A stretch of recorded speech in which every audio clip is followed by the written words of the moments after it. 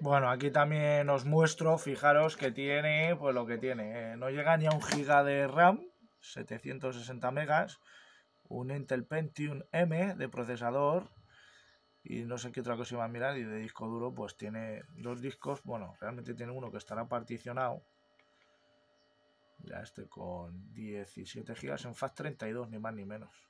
Y este en NTFS 20 gigas, o sea, será un disco durito de pocos gigas, de 30 gigas. Ya veremos a ver qué tal van aquí las cosas.